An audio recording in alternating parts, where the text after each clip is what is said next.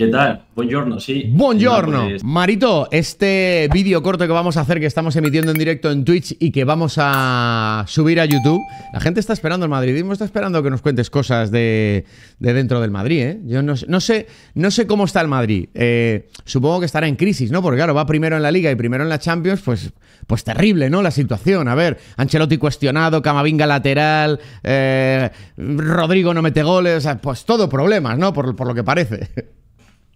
A mí el, te voy a dar el, titular fácil. Eh, para mí el, sale reforzado Carlo Ancelotti. Sé que aquí voy bastante en contra de la mayoría del madridismo, sobre todo cuando eh, vienen mal dadas, porque es verdad que aglutina muchas críticas. Yo algunas las comparto, pero intentando hacer un, análisis global, eh, para mí la plantilla tiene fallas muy evidentes la plantilla ha sufrido lesiones también muy importantes, lo cual ha complicado la planificación y también al entrenador.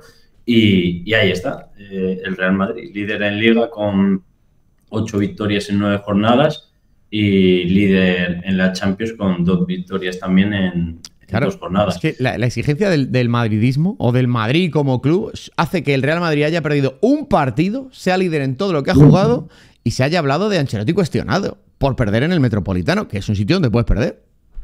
y también por cómo pierdes, ¿eh? creo que, eh, insisto, que para que no parezca que, esto, Jabón Ancelotti es el primero que, la pifia en, el Metropolitano y, creo que hay que imputarle gran parte de la responsabilidad.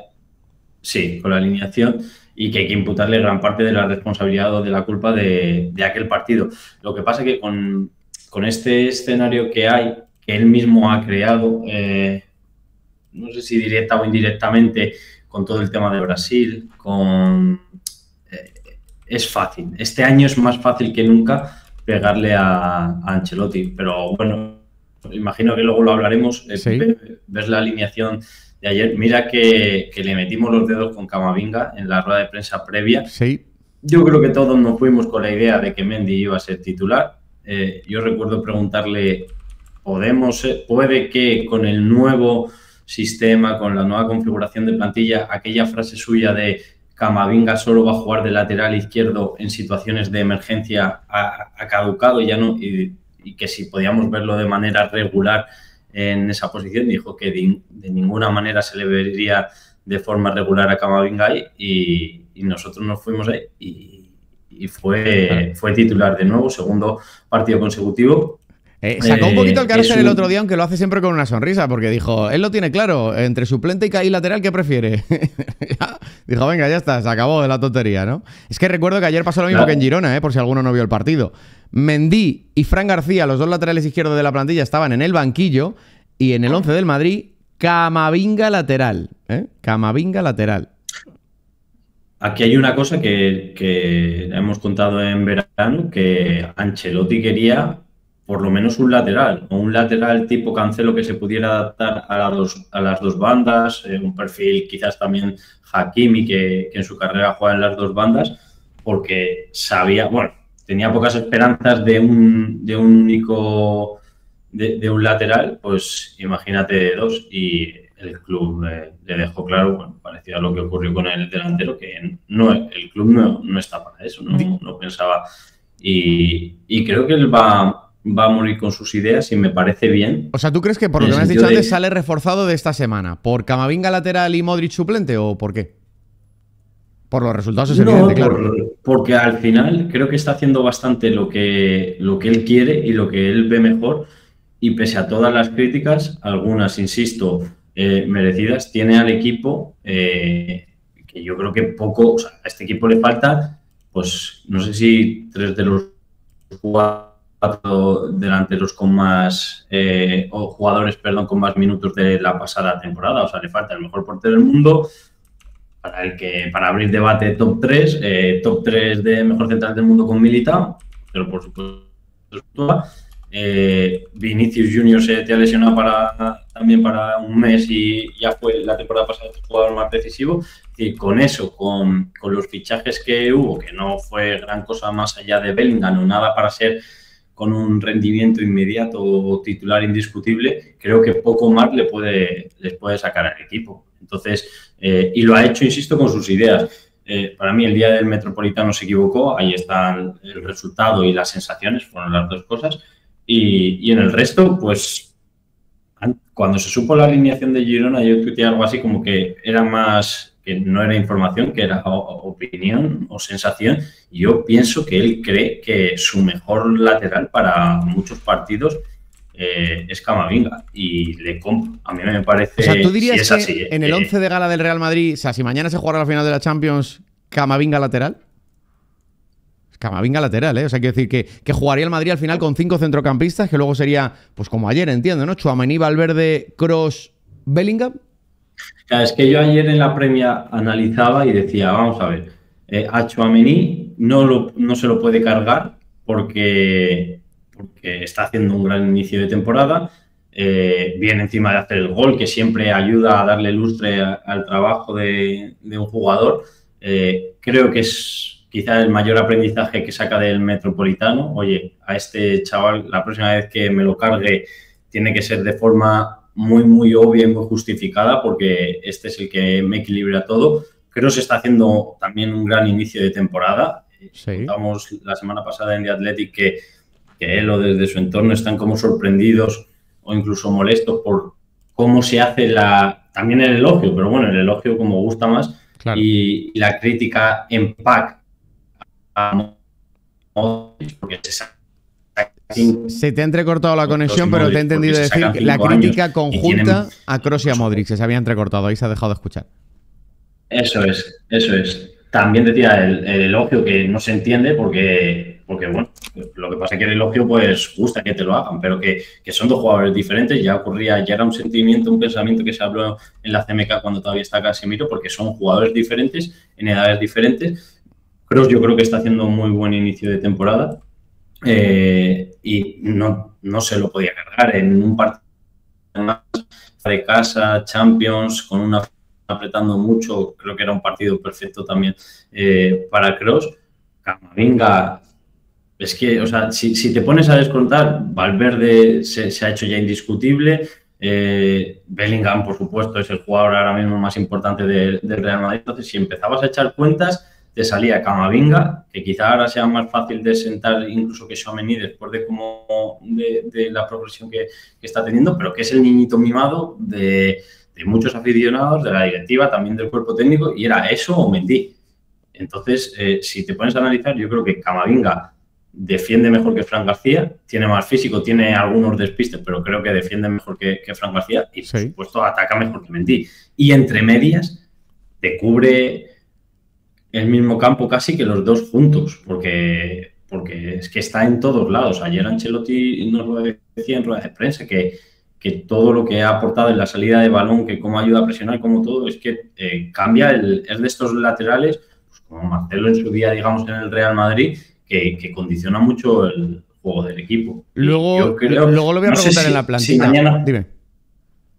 No, que no sé si mañana fuera la final de Champions, ¿qué haría? Porque también Ancelotti a veces es conservador y, oye, tener a un Mendy que, que bueno, pues que, te asegure ahí, que te dé un poco más, yo creo que, pero es que con Camavinga es el crimen perfecto ahora mismo porque él está convencido de que el equipo va a rendir mucho, sobre todo te permite eh, meter a uno más en el centro del campo, que es el gran quebradero de cabeza, yo creo, de Ancelotti. Claro, porque tiene siete y ahora en teoría era para tres plazas. Al cambiar el sistema es para cuatro con Bellingham, pero es que a meter a Camavinga lateral le caben cinco de los siete en el once. Es que es lo que termina haciendo el cabrón de Ancelotti siempre. Cuadra el círculo para intentar colocar a los que al final él sabe con quién quiere jugar y luego ya va buscando dónde colocarlos. Y es que lo consigue. Claro, él decía, él decía en la rueda de prensa, son siete para cuatro posiciones. Bueno, pues de esa forma le gana uno más. Y le, preguntaron, no sé si fue Miguelito Berray, de, que también se ha contado mucho que, que no le gusta jugar ahí, que si tenía que a Camavinga, que si tenía que convencerle. Y dijo, convencerle, dice, si yo estoy seguro de que si le pregunto si quiere jugar de lateral o en el banquillo, me va a decir ahí. Claro. Y, y bueno, pues eso hizo al final. Y está ganando, pues al final Eso es el crimen perfecto. Camavinga no está contento, pero es que alguien no va a estar contento. Y por, una serie de factores, lo más fácil, digamos, y, manteniendo cierta lógica, era sentar a Mendy. Claro. Eh, hay caso Modric, que esto, de esto se ha hablado mucho. O sea, claro, Modric ayer es verdad que haya jugado un ratito, pero oye, dos partidos ha estado sin jugar y sin calentar y ayer jugó un ratito, pero cuando se esperaba que le diera el premio de jugar como titular para que no se le enfade, no lo puso. Sí, hay caso Modric. Eh, va, a ser, va a ser difícil eh, esta temporada en el sentido de que en algún momento tiene que llegar. Eh, a mí no me sorprendería una remontada.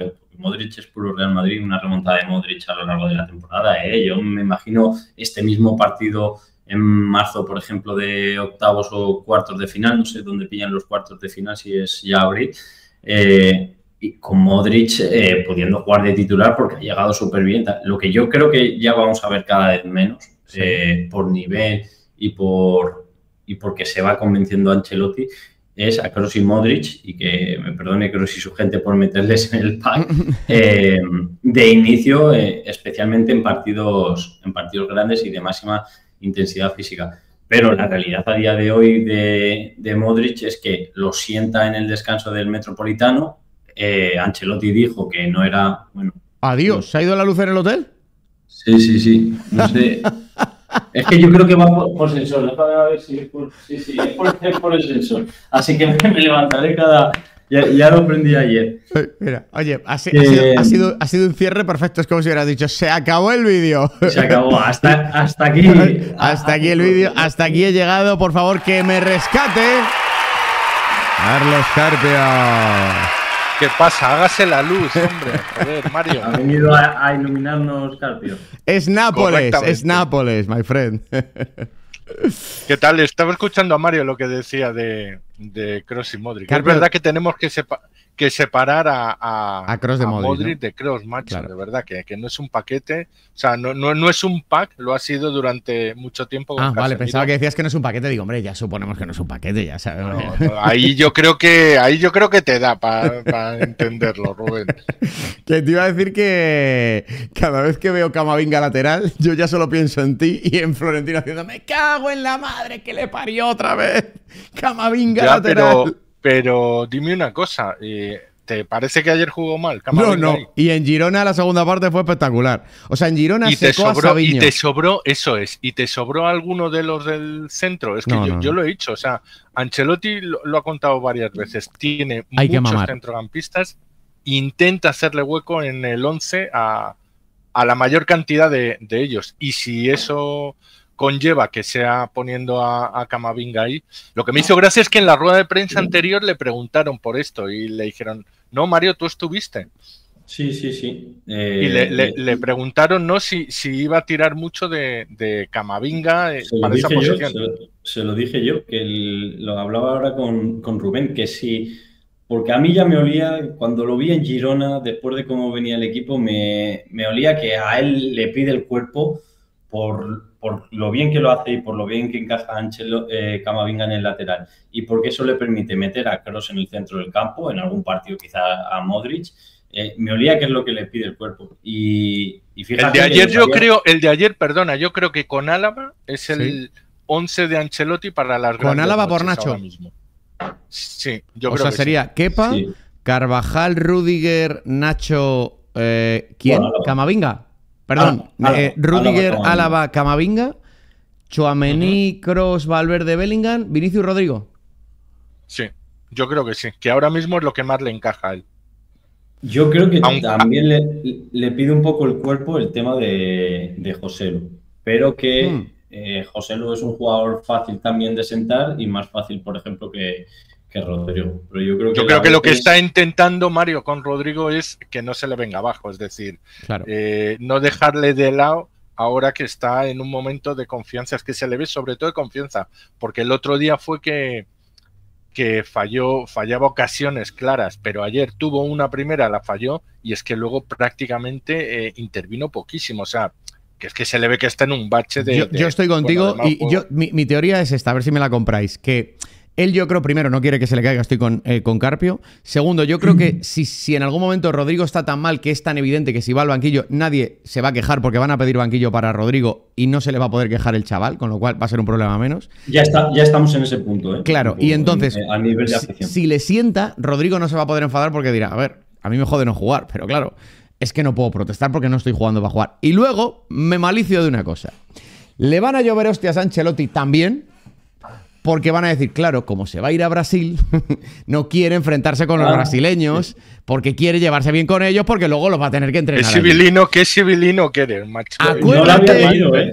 acuérdate si no le caen hostias a Ancelotti porque diga que está protegiendo al clan, brasileño. Acordaros. Qué mente más retorcida que tiene. Pero es verdad, es verdad que se habló de eso en su día cuando en verano eh, estalló todo lo de, vamos, se agravó lo del tema de Brasil, que incluso se llegaba a decir, y ya veréis cómo convoca a jugadores más del Barcelona que brasileños que del Real Madrid para joder y tal cuando sea seleccionador. O sea, la gente se hacía una, unas perolas tremendas ¿eh? con, con eso. yo creo que Acaba de suscribirse a Ciro, eh, Ciro Atlético, eh, y dice: Inadmisible, ah. dimisión de Ancelotti. Esto no puede ser. Solamente va líder en la Liga y en la Champions. Gracias por la sub, Ciro. la peor Correcto. la mejor crisis de la historia del fútbol. La, la, jugada esta que decía Carlos, de la primera que tiene, que le pone no delante del portero porque tiene que conducir un poco, pero se, se lo encamina muy bien Bellingham, creo que es en alrededor del minuto 5, demuestra eh, esa situación de falta de confianza de Rodrigo porque tiene esos metros de carrera para acercarse un poquillo más al portero y tirar y el tiro es casi más que un disparo, digamos, con intención buscando el gol, yo creo que es un desahogo, un de, voy a tirar, voy a acabar la jugada y voy, no, es la calidad en el tiro que, suele Lo que es no tener confianza, Mario, porque, porque le voy a acabar hacer goles. Voy a acabar como sea. Y eh, yo hablaba anoche con, una persona que es cercana a los brasileños del Real Madrid y me decía que él cree que es por, por el cambio de sistema y que, como, que a, Vinicius también le está pesando. Lo que pasa que Vinicius está mucho más hecho, tiene otras características y al final a Vinicius le das un balón eh, se lía a regatear y o te provoca un penalti o te están en otros puntos de su carrera y demás, pero que eh, cada vez que reciben están muy lejos entre sí, que están muy lejos de zonas de influencia y que eso a Rodrigo le, le está penalizando más.